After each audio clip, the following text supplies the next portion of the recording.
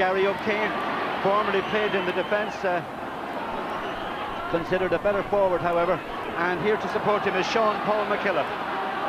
Uh, good pressure, however, exerted by the down defence, but they can't do anything about Alistair Elliott's opening effort for uh, Antrim. A very good point, well picked off. Sean Paul McKillop uh, was under too much pressure to have the uh, scoring chance himself. Gave it, however, to Alistair Elliott, and Elliott had the room, and he found the range quite beautifully.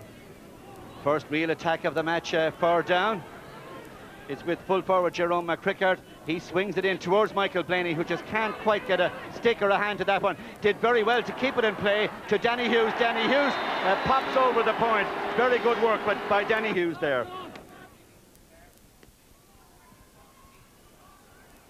Pat Gallagher looks for uh, Terence McNaughton again with a bit of help from Gary O'Kane. And Paddy Braniff it was who tipped that away. Gregory O'Kane ha had uh, first run on that one. Paddy Braniff claims the sideline cut and gets it.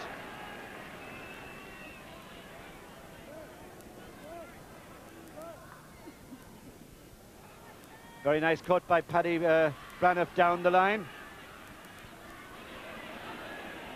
Knocked back for Antrim, however, by uh, Ronan Donnelly. And this 19-year-old is uh, showing well for the ball and making good use of it. And then put in by Paul Jennings. A beautiful point.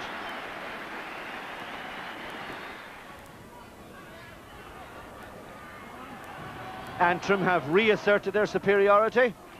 None playing better than uh, Paul McKillen in the middle of the field, let me say. And there's a free to down, who now need all the scores that they can get.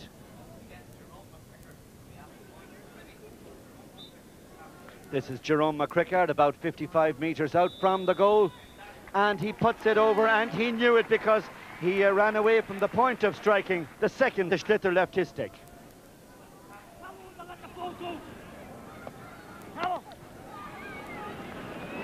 A lovely summer's day in Casement Park. And uh, the Antrim goalkeeper, Pat Gallagher, sent that from one end of the field to the other. Hughes battling for down. Mallon there too. But uh, it's Ronan Donnelly, the youngster. And Ronan Donnelly certainly now is vying with Paul McKillen for the star rating in this game on an individual basis. Both McKillen and Donnelly have picked off beautiful points for Antrim this afternoon.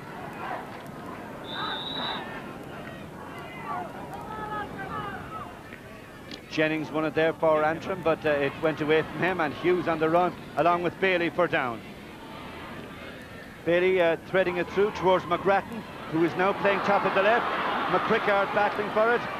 And there's Sands, who might be a man who could sneak a goal. He'll try for one here, surely. He does. It's uh, kept out, however. Good work by Gallagher on the goal line. McCrickard is coming again. He's spells McCrickard. It's surely a penalty. Referee Dickie uh, Murphy will uh, speak with one of the Antrim forwards, perhaps? No, he's just signalling the free.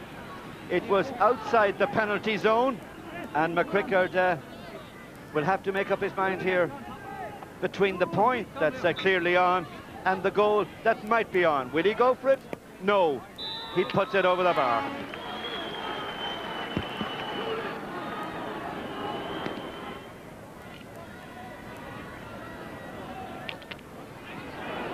Jennings, uh, the Antrim midfielder, uh, certainly prospering uh, alongside uh, the prolific Paul McKillen.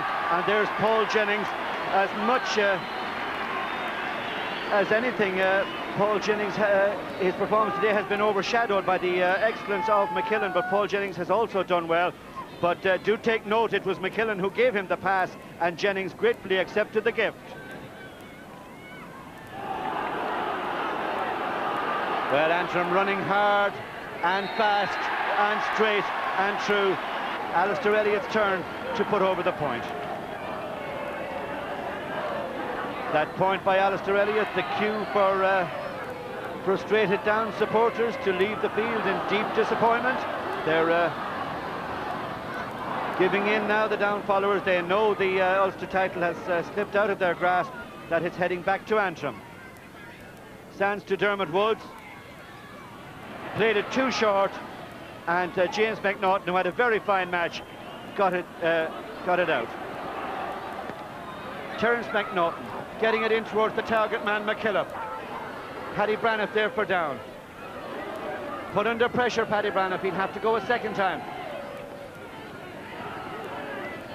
And it's knocked away from him by Gregory O'Kane to Sean Paul McKillop. And Paddy Braniff fouled his man as he tried to retrieve a desperate situation there.